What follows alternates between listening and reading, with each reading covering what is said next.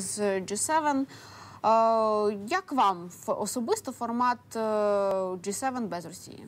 Я думаю, он отражает нынешнюю геополитическую ситуацию.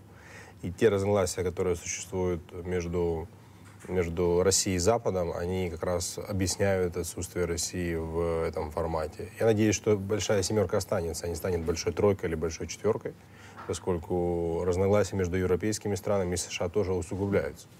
Ну, конечно, они не такие принципиальные, как с Россией, но тем не менее они присутствуют. А заявление Дональда Трампа, мне кажется, не стоит вырывать из контекста.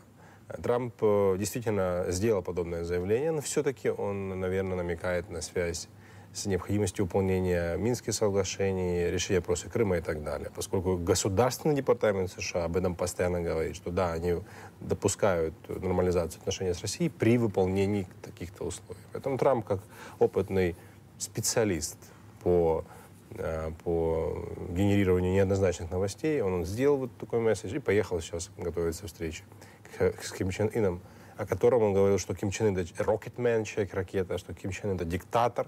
Вот он с ним садится и разговаривает. Вот это, вот это Дональд Трамп.